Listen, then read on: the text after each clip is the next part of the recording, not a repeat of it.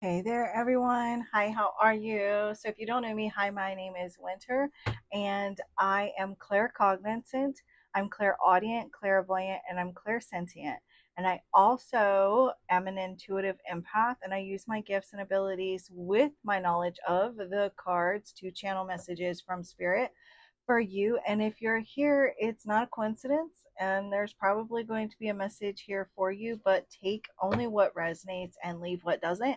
And if you would like to stick around uh, to uh, find out how you can potentially win a free 30 minute private reading, then please um, just stick around uh, to the end. And then also, uh, you could um, potentially win uh, some free money oil as well.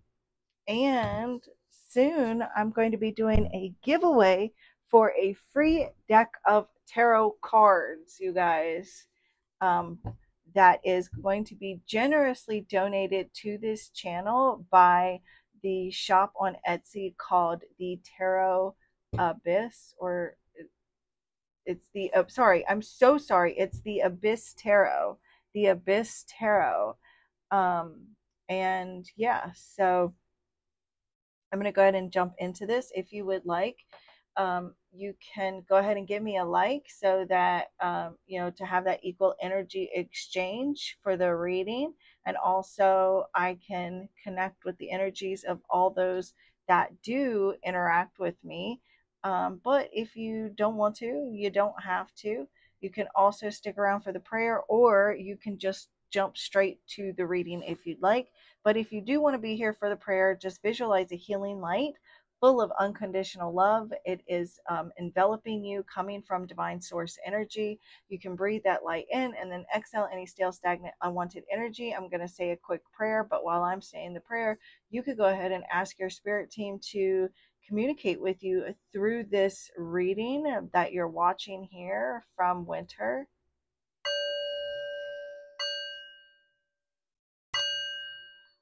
And to deliver you messages that are only of your highest good and to the harm of none.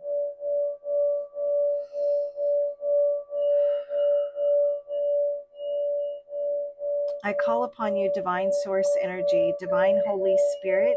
I call upon you, spirit guides, angels, archangels, guardian angels, ascendant masters of love and light, ancestors of the highest good, and any angelic, cosmic, galactic, celestial beings and higher light beings. For the good of all and to the harm of none, I call upon you now and invite you here into this space to help me grasp messages and answers that need to be delivered to any and all souls, individuals that find their way here. I thank you for guiding, blessing, and protecting this reading, myself, and each and every person that may be involved in this reading. I thank you for using the cards as tools to communicate and to assisting me to see, hear, feel, and know the messages that you have today and convey them in such a way as to enlighten, inspire, and or heal I thank you for only honest, accurate, trustworthy answers and messages that come only from the divine, that are only of the greatest and highest good of all, and to the harm of none, with peace, love, light, and gratitude. So it is.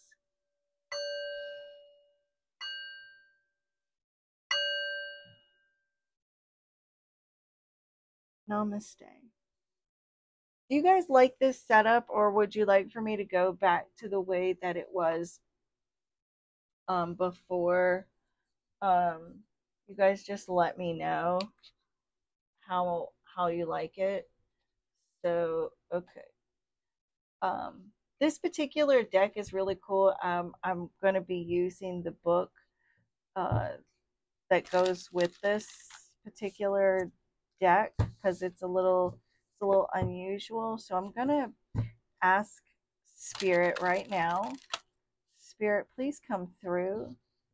Show me clearly which card in this deck best represents the individual viewers. So they're going to come together. Look, I just feel drawn to pull this one. I just do. Look, the Death Priestess. It's card number 17, which also the star card in the Major Arcana is card number 17 also that 17 would reduce to an 8. Some of you may be at a life path number 8.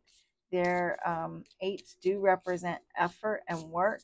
So um, with that death priestess there, it's almost like the death card and the high priestess together. So, but I want to read the book. You may be fearing something um, ending or some some sort of change or transition there may be you having to really rely upon your intuition right now as you go through any kind of major change in your life and then we've got the pumpkin baby, which is interesting because we go from eight to nine. This is card number 36, which would reduce to a nine. So whatever happens, also again with the La Luna on the bottom here, which is card number 18, which would um, reduce to a nine. So we've got double nines. And the moon card in the um, tarot is the 18th card of the major arcana. So I'm picking up some Pisces energy, you guys. I'm also seeing um, spiders, maybe a confirmation. You may have um, spiders like showing up in your physical reality. Um, somebody's birthday may be around like in the fall or around like Halloween or you know pumpkin season like um October, November, something like that. But let me look here at the book and see. The Death Priestess, it says, say goodbye to past conditions, refuse to suffer foolishness and fools. Proactivity um, pro, sorry, proactively banish fear, disempowerment, and stagnation. So the death priestess actually encourages you to destroy unhealthy habits. So any kind of unhealthy behaviors or habits that you're dealing with, dissolve any kind of like um, anxious thought patterns that you may have. And it also says to demolish conditions that have been holding you back. So, for many, death is the source of one's deepest and most desperate fears. But death, but here, death is the ultimate cleanse. Because you think about it, when you when you die in the 3D, you are actually taking off all cleansing yourself of all the physical worries. You're you're releasing the physical body which is very um, heavy and stagnant. So, but this is more of this isn't like a literal death though. This is some sort of change that something in your it, it wasn't working anymore. It's you know it's like when the when the body dies, it it's because like it's not working anymore. There's something happens to make it not work anymore. So that's what's happening in your life is something here is stagnant isn't working and there is this death to cleanse whatever this is away. There is this um there's this transformational power at play in your life right now that's clearing away the old to make room for the new which is crazy because we have the pumpkin baby which is something new. We've got we've got a uh, the death and the rebirth with this baby here. And so um there is um this is really a lot like the reading that I was doing earlier about like that the change and like um make way for something new. So like if you're unsure about what spirit's trying to tell you right now, um or like if you're unsure about what it is that you need to like banish or cleanse or release with the priestess there, it's like maybe it's something that's deep within the subconscious, or like maybe you need to like take a deeper reflective look into your life and figure out like what doesn't feel right anymore, or maybe never really did, or like, you know, look at something that had to fall away because it just wasn't working you know, maybe you need to kind of set up some boundaries with people, or like you need to speak up for yourself, or maybe you need to actually facilitate some sort of ending, you know, in your life. Whatever this is, there's definitely like something here that that is a profound change collectively that everyone that comes across this is experiencing. So think about what in your life is actually changing, whether it's positive, um, positive or negative, good or bad, however it is that you view it. Think about whatever this is that's changing in your life and understand that whatever this is that you are experiencing, um, it is ultimately a, a part of it's going to turn out to be a positive in the long run. You know and, and so even though like death is is traditionally seen as sadness is seen as a loss um it is a time of transformation. There's always a season for everything. Um and so like you may need to like let go of something that is on the mental or emotional plane. And so like if you want to experience freedom there may be this old paradigm or or pattern or behavior or habit or even story that you have to refuse to entertain for even one more moment longer you know? And it's like you have to be willing to let go of the old and and embrace something new even though like and and a lot of people think that oh change is coming that's good and and wonderful and it's going to be amazing but just because you hear change or see change that's not always like the best thing to happen.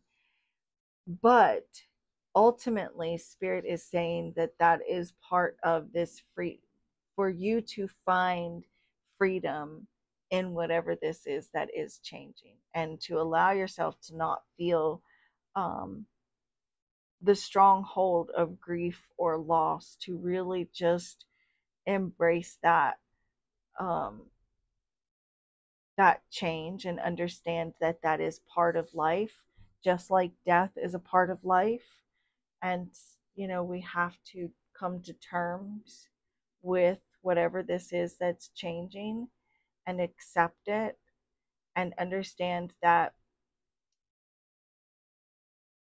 the old saying of whenever God closes a door, he always opens a window. Or where I like to think it, whenever goddess closes a door, she always opens a window. That's the case here is like even though and because we do go from the eight to the nine whenever goddess closes a door she is going to open a window. So understand that something a chapter a door may be closing no matter how good or bad there's going to be a window that is opened for you. And i feel like that's the whole thing is right now collectively we're all experiencing some sort of change, whether it's, you know, um, ending a job or, you know, um, dealing with um, sickness or disease or someone crossing over or, you know, there's something in life that that is out of our control that we have to understand that this is departing from our life whatever it is but goddess is going to open a window for something here to not necessarily better, not necessarily worse, but it's something new that is coming in that is going to really renew your hope and your faith and, and give you something to look forward to with the pumpkin baby showing up here. And you do have um, support of spirit and ancestors, even though it may feel lonely or you may not understand what's going on or there may be some uncertainties, there is a lot of support. And I'm also seeing different aspects of yourself from all different timelines, different universes, different versions of yourself. And it, and you may need to really like call in all these different fragmented aspects of the self at this time. And it's like this kind of coming together. Let me get the book and look here at card number 36, but I do feel like that's why. And it says, look, you've con- you have conceived of something magical. You are about to bring forth a beautiful new beginning, condition, or project prepare for a profound and positive change. Oh my God, like what are the odds? Seriously? So, collective, those of you, and I don't get a whole lot of views on this channel.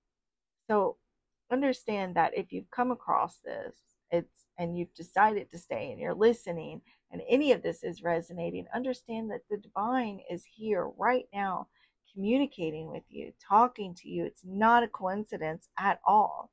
You know, this is not this is like just imagine think about like how big the world is and all the millions of other readers. Even if you've come across me before and you're subscribed and you've been with this channel for a long time it doesn't matter. The fact that you would find this channel out of literally millions of other videos you could have come across spirit is taking this opportunity to communicate to you and let you know that yes something is ending but there is something being born, though. There is something new coming in its place. You are this magical being, and there is this energy of being pregnant with possibility. You know, there is this birth of this new creative project. And, you know, maybe um, this is like a new home for some of you, or this is like, you know, a, an opportunity to really um, just create anything in your life. This is the beginning of something. This is the beginning of um like bringing in something new that is like this sacred sort of alchemy, you know, where you're planting this seed and you have to wait and begin to see it sprout and then eventually like um, start to see it grow and, and blossom and bloom and there is this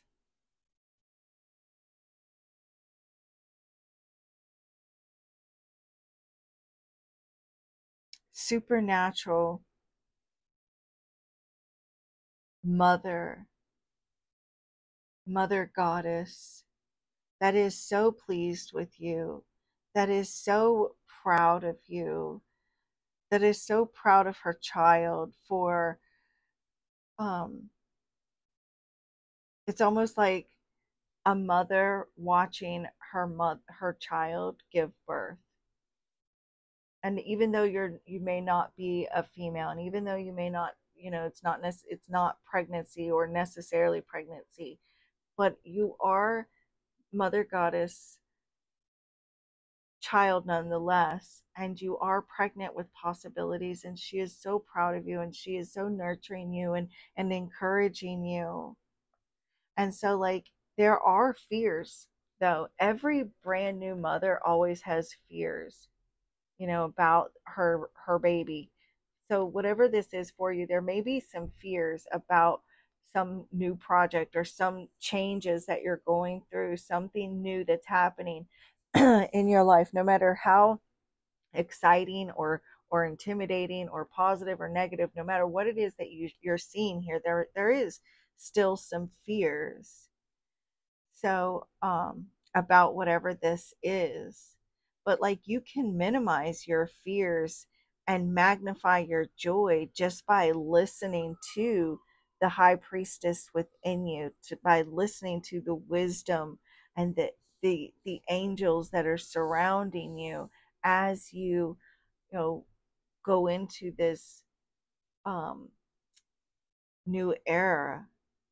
You know maybe um taking care of yourself your mind your body your spirit eating healthy exercising getting sleep you know embellishing the the nursery the nursery you know like gathering and organizing and strategizing and being creative and getting the the tools that you need and preparing you know um wisely and conscientious conscientiously preparing for what's to come next with the birth of whatever this is, this new newness for you.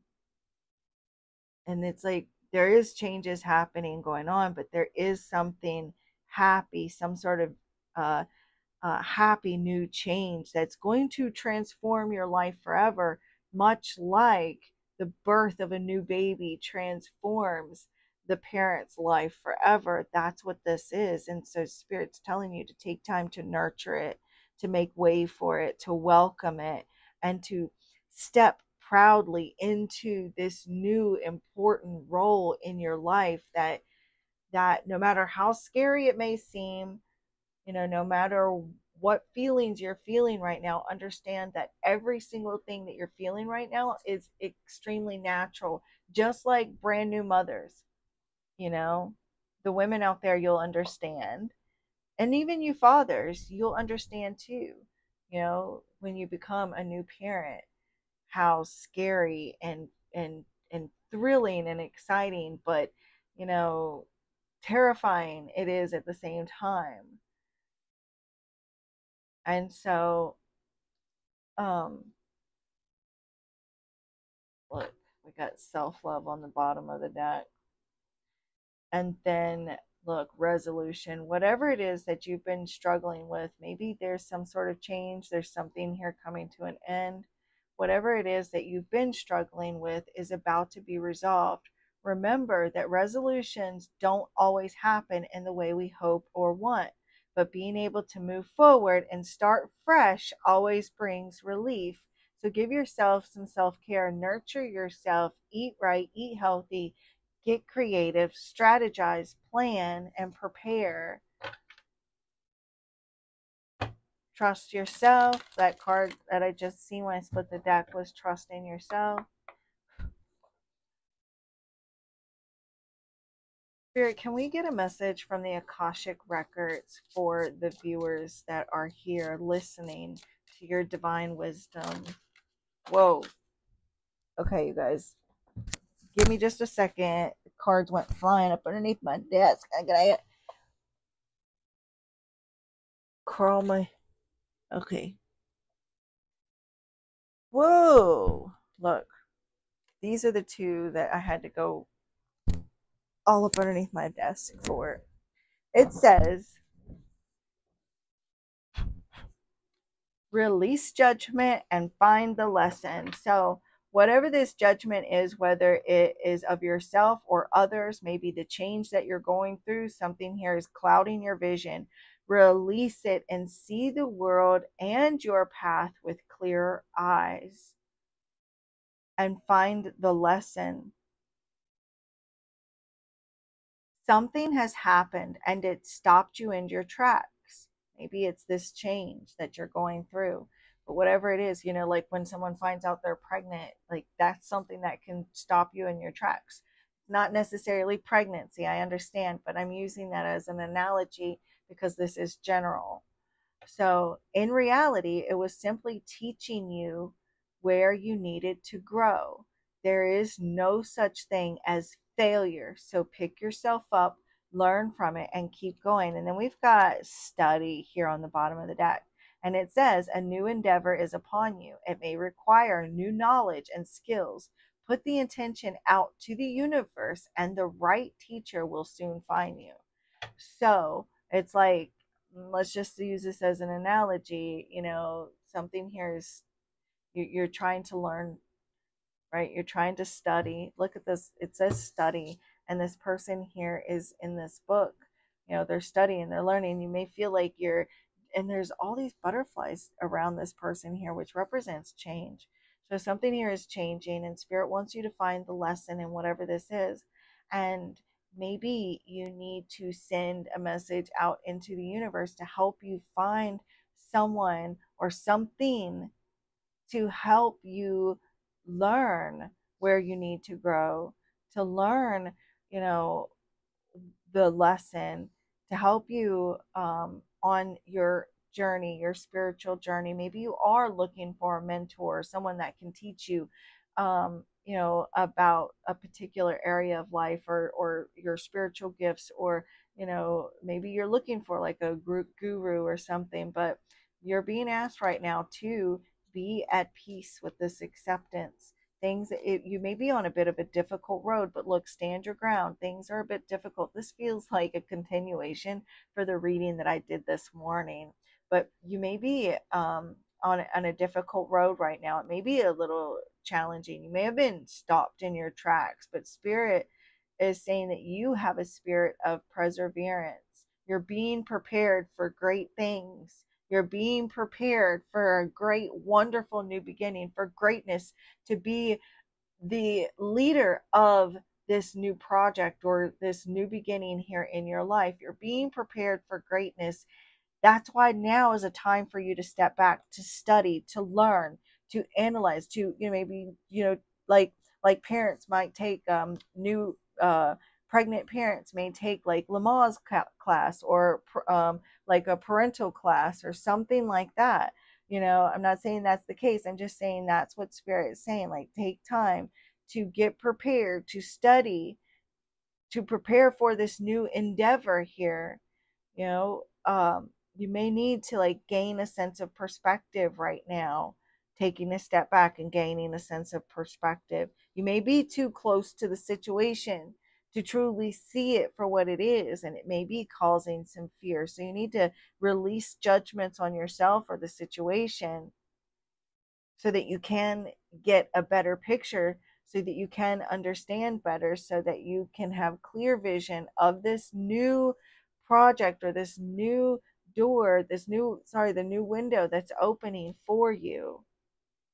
Span your view span out and view your life from a distance so you can get the perspective needed. Stand your ground. If there's something you want, you have to fight for it. Again, maybe you're you're choosing to hide whether you realize it or not. You may be kind of hiding from something or avoiding something. Create a boundary, speak up for what you believe in, stay focused, stand your ground, you know, stick to your guns like we got earlier um, this morning. Um, I'm going to pull it, just pull one tarot card, you guys, because I am really tired. Um, I'm like drained. So, look, stand your ground, release any kind of judgments against yourself, against the situation, finding acceptance. But look, stand your ground and fight stick up for yourself. You know, don't back down.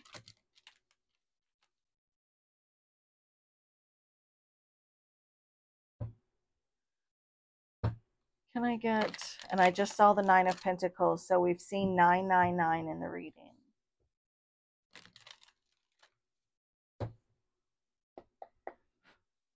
One single jumping card only, please, Spirit. Or one single one single card. The Two of Swords. So you may need some more information before moving forward with the Two of Swords. Things may be a bit stagnant when the Two of Swords shows up. You know, you're um, maybe at, at a crossroads and you've got a choice or a decision because sometimes that's the Two of Swords. Maybe you're feeling caught in the middle of like uh, family issues or like some sort of decision, waiting on a decision. You may be in denial about something ending or something that needs to end, you know? You may um, feel like you're being dragged into something. There may be some missing information that you just need to take time to get more information on. You know? Maybe you're caught in a bit of a bind in some in some area like burying your head in the sand, so to speak.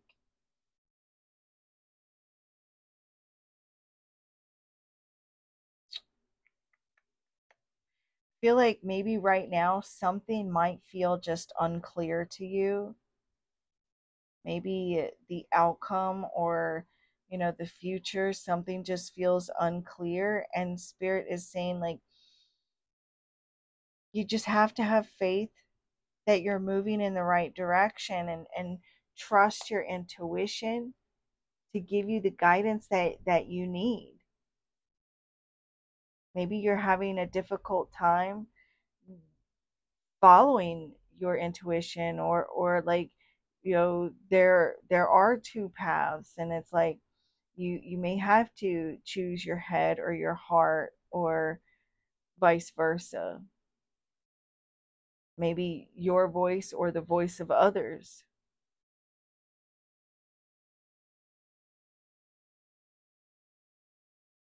What is it that's keeping your vision clouded or that's keeping you from seeing clearly? Trying to figure out, like, what are your next steps?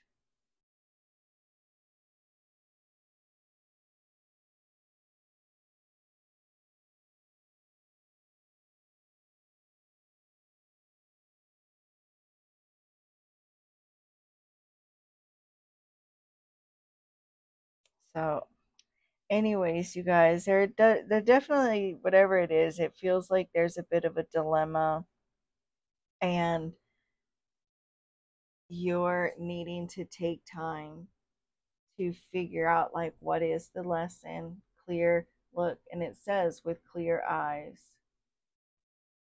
So, it may be judgment that is clouding your decisions or your choices or the path ahead or the ability to um, see, period. So I'm going to leave that there. And if any of this reading resonated with you, or if you would like to try to win either the 30 minute private reading upload, or if you'd like to try to win the money oil, all you've got to do is make sure you're subscribed, like, and comment. And if you want to try to win the money oil, um, you can win the money oil, but you won't, and you won't have to pay uh, no shipping or anything. I'm going to pay for that out of my own pocket if you live in the U.S. Um, but you, when you comment, make sure to leave a money symbol um, and if you're looking to book a reading, then just reach out to me uh, through email or text, and all that info is in the description box. And the Divine in Me bows to the Divine in You. Namaste.